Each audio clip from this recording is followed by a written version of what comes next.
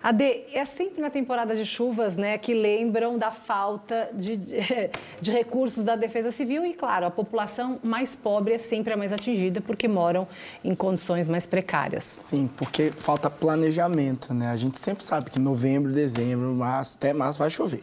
Mas a gente vive num país em que as pessoas não planejam qual é o tipo de estrutura urbana em que nós vamos viver.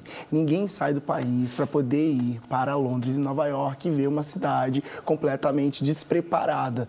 E é exatamente isso que a gente devia começar a fazer no nosso país, principalmente nos regiões mais pobres, a gente diz no Brasil, porque tem muita gente que acredita que essas regiões precisam de menos atenção. Eu não moro lá, eu não vou lá, eu não passo por lá. Mas aí a gente acaba sofrendo, igual a gente está assistindo agora, uma falta de preparo. Que a gente possa começar a se preparar para viver no país que a gente vive. A gente sabe quais são os meses do ano onde acontecem as maiores calamidades. Que a gente possa pensar nisso a partir daqui. Aí entra governo, sai governo e o tema nunca é prioridade. Só depois que acontece um caso como esse de hoje que começa a correria e começa a tentar correr atrás do prejuízo. É tarde, né?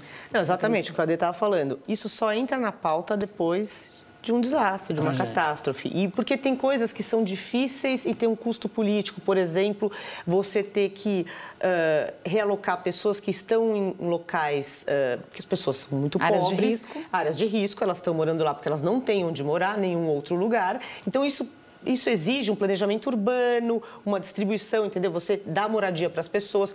Isso não se faz de um dia para o outro. É, só que é isso, você não planeja, você fica de, um, de uma catástrofe para outra.